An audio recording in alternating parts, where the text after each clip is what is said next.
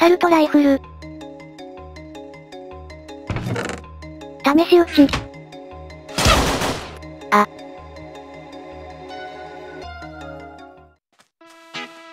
皆さんこんにちはカチャーンです。今回はまずこの原油を回収したいと思います。鉄エンジンなんか使うのか正直使わないかもです。って、なんでマリサいや、一人で喋ってるだけだと物足りないだろ。ま、まあそうですね。というわけで今回から私も一緒にやっていくぜ。で、鉄エンジンのことなんですが、オイルの生成とか、温度の調整とかめんどいです。じゃあずっと石エンジンを使うのかそうなりますね。爆発しないようにできるなら圧縮機エンジンを使いたいですね。無理だと思うぞ。ですよね IC2 入れて EU を MJ、じゃなかった RF に変換しますかねそこまで鉄エンジンを避けなくてもいいだろ。うーん。なんか嫌なんだよな好きにしろ。回収してゆっくり生成しています。多分使わないけど、影モッドは、タンクの中が見えにくいので一時的に切りました。クアリーです。まだ使いません。じゃあなんで作ったし。とりあえず作りたかったんですよ。まだ使わないというよりまだ使えません。エンジンないもんな。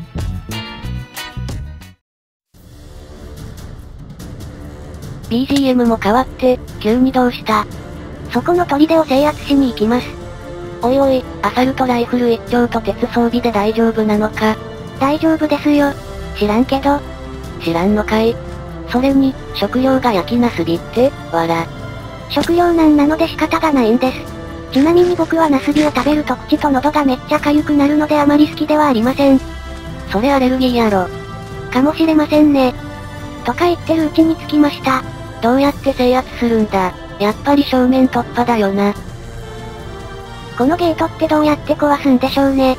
今、ボタンがついてる壁ごと壊した気が。こここここの壁を破壊して突入しましょう。めっちゃバタバタ言ってるな。あのドア、わら。あ、あわらあわれらました。テンパりすぎ、わら。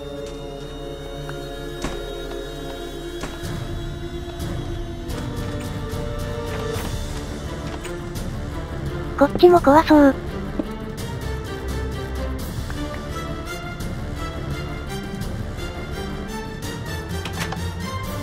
いやいやいや、今のは何がしたかったんだよ。こっちのドアの先にいるみたいですね。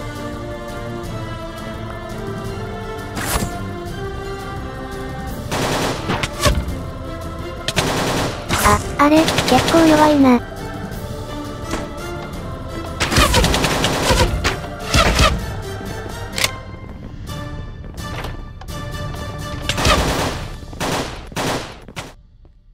あっさり制圧。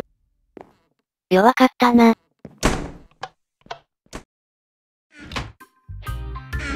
何を作ってるんだ？これはですね。